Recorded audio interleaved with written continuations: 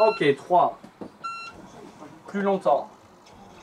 Ok, super. On peut lâcher les amarres C'est parti pour une semaine de vacances sur la Charente. À bord, une famille, trois générations. Ils vivent en Gironde ou à Hong Kong et ont choisi de se retrouver ici, ensemble, sur le plus beau ruisseau de France, comme l'appelait François Ier. Nul besoin de permis pour ces bateaux, mais une petite leçon de pilotage s'impose. Là, on est bien. Et il faut qu'on s'arrête sur la gauche. Aux manettes, Daniel, le grand-père. Donc quand vous naviguez, il faut toujours laisser l'hélice tourner quand vous manœuvrez, car si vous vous mettez au neutre, l'hélice ne tournant plus, vous ne pouvez plus manœuvrer le bateau. Sur le pont, la famille n'est pas de trop, car le plus dur arrive, le passage de l'écluse. Premier volontaire, Arthur, 10 ans, fondu de bateau. Là, pour l'instant, il faut serrer, faut serrer les amarres. Donc là, c'est bon. Et maintenant, tu peux faire ton nœud. Particularité de la Charente, les écluses se manipulent à la main.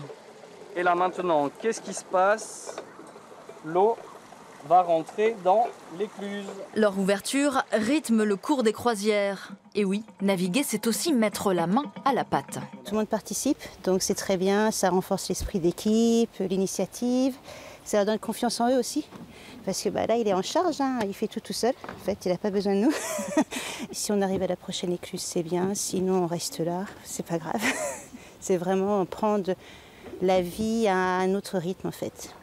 Vivre quelques jours au fil de l'eau, c'est la surprise faite par toute la famille à Monique, la grand-mère.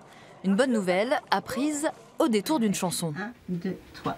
Tu te demandes pourquoi on chante pour ton rêve sur la Charente. Pour elle, c'est un vieux rêve qui se réalise. J'enviais toujours les gens qui faisaient comme ça de, de la petite croisière fluviale. Je disais, oh, qu'est-ce que c'est bien, qu'est-ce que c'est sympa. Enfin, depuis des années, vous voyez.